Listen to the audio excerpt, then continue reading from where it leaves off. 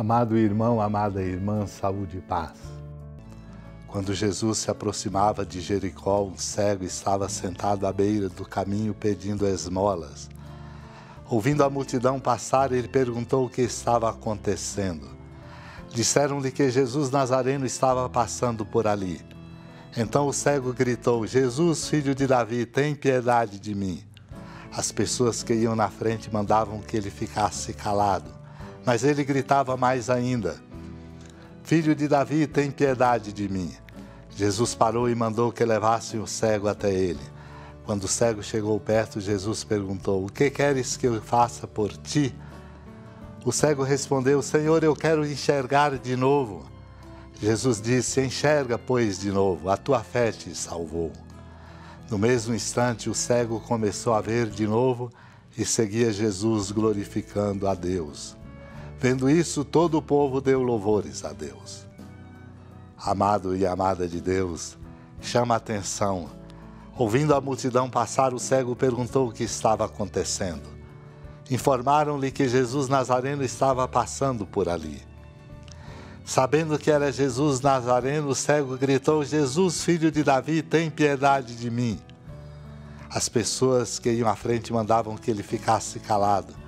Mas ele gritava ainda mais, porque sabia que ali estava passando o Salvador do mundo. Filho de Davi, tem piedade de mim.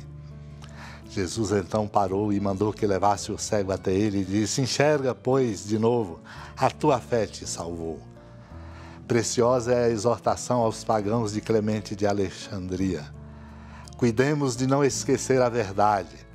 Afastemos de nós a ignorância e, dissipadas as trevas que ofuscam como nuvens os nossos olhos, contemplemos o verdadeiro Deus.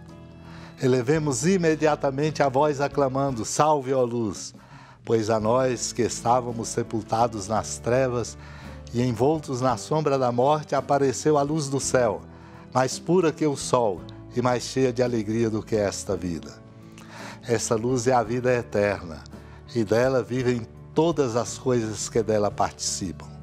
A noite, ao contrário, fugiu da luz e, ocultando-se temerosa, cedeu lugar ao dia do Senhor. Difundiu-se por toda parte aquela luz que não pode extinguir-se, e o ocaso deu lugar à aurora. Isso significa a nova criação o sol de justiça que em seu curso domina todas as coisas, ilumina todo o gênero humano sem distinção, segundo o exemplo do Pai, que faz brilhar o sol sobre todos os homens e os asperge com o orvalho da verdade. Ele transportou o poente para o nascente e crucificou a morte, transformando-a em vida. Creiamos e nos deixemos tocar por este grandioso mistério de amor. Suplicamos.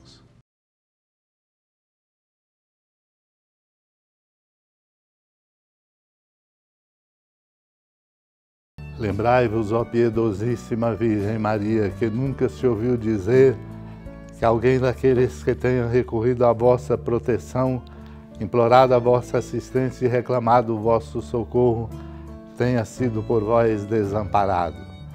Animado com igual confiança a vós recorro, ó Virgem das Virgens, e gemendo sobre o peso dos meus pecados, me prostro a vossos pés.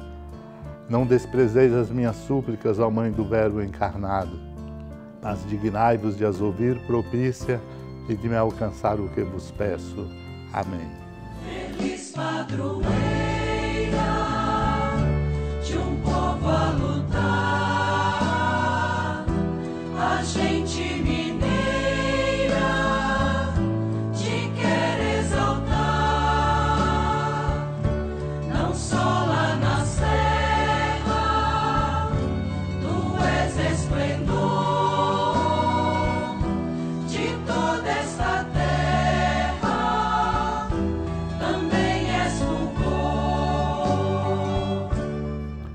Amado irmão, amada irmã, com alegria do Santuário Basílica da Padroeira do Estado de Minas Gerais, a Senhora da Piedade, que da sua casa de clemência e bondade nos acompanha e nos abençoa do alto da serra, magnífica arquitetura divina, a bênção de Deus, amor misericordioso.